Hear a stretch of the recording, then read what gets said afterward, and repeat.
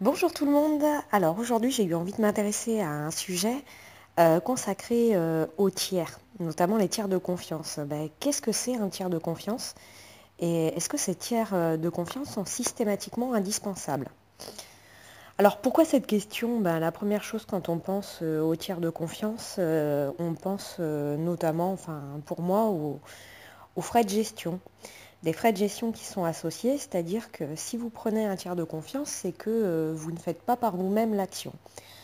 Alors, euh, parmi ces tiers de confiance, on peut citer euh, ben, votre banquier, qui est quelque part un tiers de confiance. Vous lui payez les frais de gestion, et ces frais de gestion, c'est quoi? C'est la, gestion du risque autour de votre argent, de ne pas perdre votre argent. Voilà, c'est comme quand vous prenez un prêt euh, immobilier, euh, votre banquier va vous faire euh, payer cette fois-ci à vous la gestion du risque qu'il a à vous faire à vous prêter de l'argent. Donc voilà, donc les tiers de confiance, euh, ce que je voulais dire, je me suis un peu embrouillée. Donc je vous ai donné l'exemple du banquier, mais ça pourrait être également euh, des assureurs. Vous êtes obligé de passer par un assureur pour rouler euh, avec votre véhicule. Donc c'est un peu des tiers de confiance qu'on va dire, cela obligatoire. Pareil pour bah, le notaire, si vous mettez en place un acte d'achat immobilier, bah, vous devez obligatoirement passer par un, un notaire. Donc dans l'évolution en fait euh, des secteurs euh, d'activité euh, professionnelle, en fait on a la classe de l'activité des services. Et dans cette activité de service, on trouve beaucoup de tiers de confiance et beaucoup d'activités également libérales. Donc ce qui nous embête un peu maintenant, c'est, comme je vous disais, donc les frais de gestion associés à ces tiers de confiance. Il y a maintenant, par exemple, euh, bah, l'avènement de, technologies nouvelles qui vont amener un paradigme incroyable dans l'avenir. Alors à quelle vitesse ça va arriver, bah, on ne peut pas le prédire. Euh, voilà, beaucoup de futurologues ou d'économistes ou euh, voilà, d'évangélistes essaient d'estimer dans combien de temps ça va arriver. Mais voilà, cette technologie, donc c'est le blockchain, c'est un grand cahier de registres et sur ce blockchain, en fait, on va pouvoir faire plein de choses. On va mettre en place la traçabilité des activités bancaires, les assurances, les actes de naissance, de décès.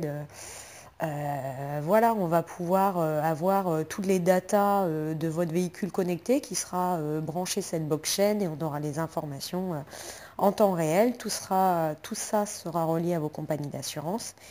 Et voilà, donc ces tiers de confiance, en fait, voilà, comme je vous expliquais pour faire bref, ils rajoutent des frais de gestion. Ces frais de gestion, ils ont peut-être quand même lieu d'être. On n'aime pas dépenser de l'argent, il y a la crise économique, c'est dur, mais des fois ça justifie. Donc il faut bien évaluer frais de gestion et quand même la gestion de votre risque qui est associée euh, grâce à ce tiers de confiance.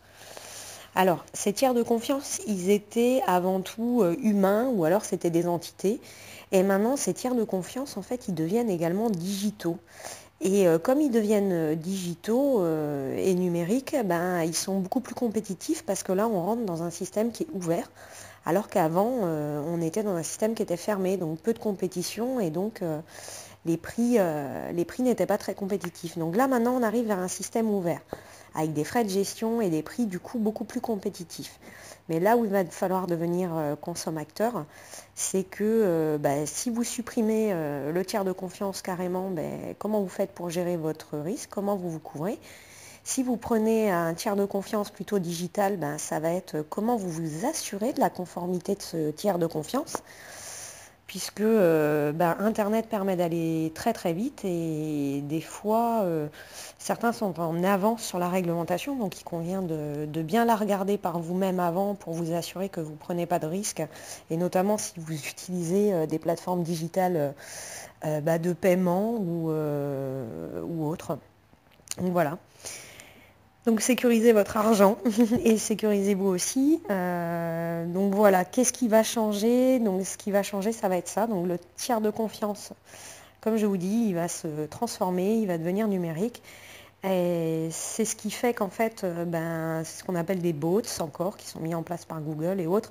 Alors ces bots ou encore ces assistants, ces assistants personnels, euh, mais dans des, grandes banques ou autres, euh, et d'ailleurs dans de très nombreux domaines d'activité, en fait, ils y réfléchissent, ils y réfléchissent de très près. Parce que euh, le but, c'est d'apporter une, solution, on va dire, bah, simple à l'utilisateur et l'utilisateur sera en position user first. Donc c'est-à-dire que la banque va anticiper les besoins de euh, son client. Donc vous serez plus embêté par de la prospection téléphonique et autres.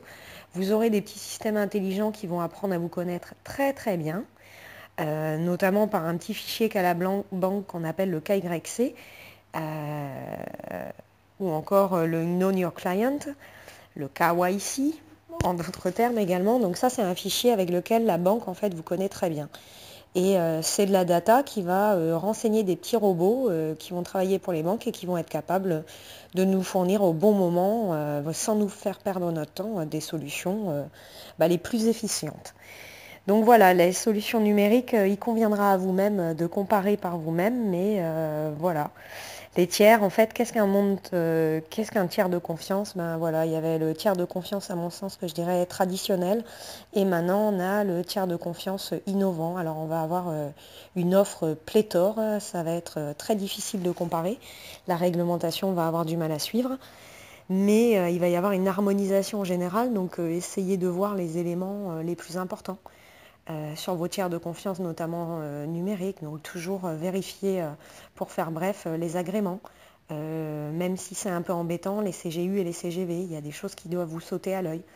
Mais ça, c'est en fonction de la plateforme digitale que vous sollicitez. Vous n'allez pas solliciter la même chose pour les fintechs que pour les blockchains, hein, que voilà, la, notion de, sécurité autour du tiers de confiance que vous utilisez. Des tiers de confiance numériques, il y en a beaucoup.